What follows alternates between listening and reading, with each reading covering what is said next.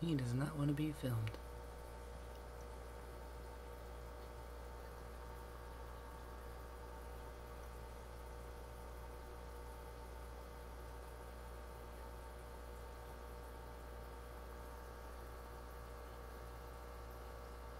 Not all of them have colored up yet.